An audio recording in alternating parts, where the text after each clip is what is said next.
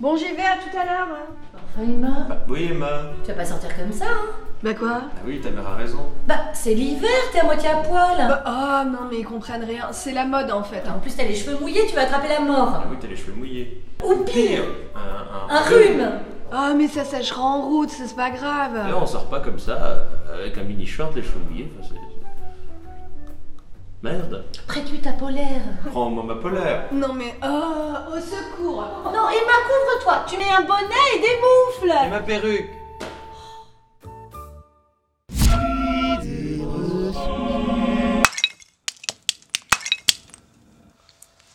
Reprenons depuis le début. Oh, alors là, on en tient une belle, hein. Oh, une bonne, belle, grosse idée reçue bien grasse. Je crois que c'est l'idée reçue numéro 1 du monde. Hein, je sais pas si on en aura encore une autre aussi euh, répandue. Enfin, si, il y a toujours celle de l'autruche qui met sa tête dans le sable que vous me demandez tout le temps dans les commentaires d'ailleurs. Je vais pas faire une vidéo sur euh, une autruche qui. On verra.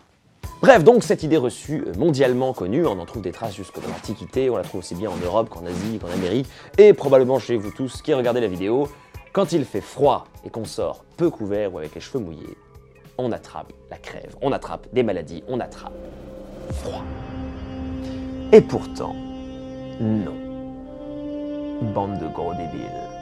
Alors je sens bien que j'étais un peu violent euh, sur ce coup-là, pardon, mais, c'est pour le bon déroulé de l'épisode, parce que comme ça vous vous êtes piqué dans votre orgueil, hein, et vous vous dites, il y a intérêt à une explication solide derrière, et oui, oui j'en ai eu, vous allez voir. Bande de nazes. J'arrête. Pour bien comprendre, étudions précisément l'idée reçue. Dans l'imaginaire collectif, quand on a froid, on est plus faible et on se défend donc moins efficacement contre les germes malsains. En plus, quand on a froid, on grelotte. Quand on a attrapé une maladie, qu'on a de la fièvre, on grelotte aussi. Donc le froid est entré en nous. Tout ça est très logique à faire classer. Et si je vous disais que dans un groupe de personnes qui sort le soir, celui qui est peu couvert n'a pas plus de risque d'attraper une maladie? Bullshit Bullshit Aratatatata. Je m'explique, quand on attrape un rhume, une grippe, tout ça, ce sont des virus, ok? C'est le fait que le virus entre en toi qui t'infecte et te rend malade. Donc s'il n'y a pas de virus autour de toi, euh, tu peux faire des rondades à walper dans la neige, tu choperas pas de virus, hein? Hmm. Alors tu auras froid, hein, parce que c'est c'est désagréable, mais tu vas pas contracter de maladie. Hmm. Maintenant, c'est vrai qu'en hiver, on attrape plus. Ben voilà, c'est ça que je voulais dire, c'est en hiver qu'on attrape des maladies, et on chope pas de rhume en été, ni. C'est vrai, parce qu'en hiver, on est plus souvent dans des endroits confinés. Voilà, il fait froid dehors, donc on ferme les fenêtres, on ferme les portes, c'est moins aéré, donc les virus se propagent plus facilement entre les individus. Mais non, mais c'est n'importe quoi, l'été aussi, on est dans des endroits confinés, on prend le métro, on va dans des ciné, on n'attend pas autant de saloperies. C'est vrai que le froid qui nous agresse nous pompe forcément de l'énergie, ce qui fait que nos défenses immunitaires sont un peu moins optimales pour nous protéger des maladies, c'est logique. Eh ben non Parce qu'on a fait des expériences On a foutu plein de gens dans le froid en slip, d'autres dans le chaud, d'autres dans le tiède. On leur a tous foutu un rhinovirus directement dans le pif et on n'a observé aucune différence. Il n'y a pas un groupe qui tombe malade plus vite, il n'y a pas un groupe qui tombe malade plus fort ou plus longtemps, rien du tout. On a même balancé des allergènes directement dans le pif des allergiques hein, pour qu'ils éternuent, qu'ils se mouchent, qu'ils s'irritent bien de partout, et pareil, aucune différence. Donc que les gens grelottent de froid ou pas, que leur muqueuse soit irritée ou pas, ils chopent le rhume tout pareil. Mais alors, pourquoi on attrape plus de maladies en hiver? C'est dingue. Eh ben c'est pas forcément parce qu'il fait plus froid, c'est surtout parce qu'il fait plus sec.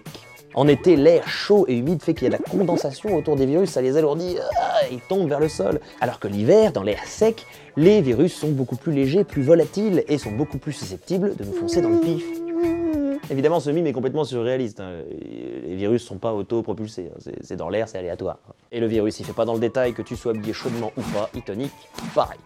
Alors oui, oui, la présence d'une écharpe devant la bouche, ça aide sûrement à faire barrière contre d'éventuelles cochonneries, mais euh, un bonnet et des bottes fourrées, euh, non.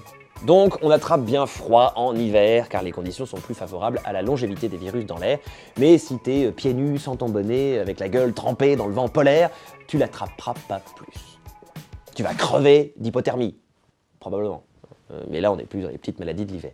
Ah oui, et une dernière chose, comme je l'ai dit, le rhume et la grippe, ce sont des virus. Donc ça sert à rien de prendre des antibiotiques. C'est inutile contre les virus.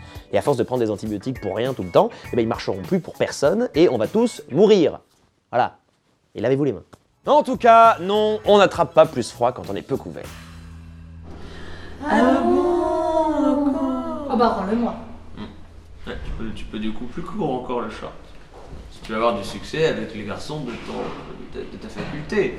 J'espère que cette vidéo vous a plu. Pour tous ceux qui n'ont pas pu me voir sur scène en région parisienne, l'encyclospectacle repart en tournée. Et en juin, je reviens à Paris, à La Cigale. Inutile de vous dire que ce sera un grand moment. Enfin, en tout cas, pour moi, ce sera un grand moment.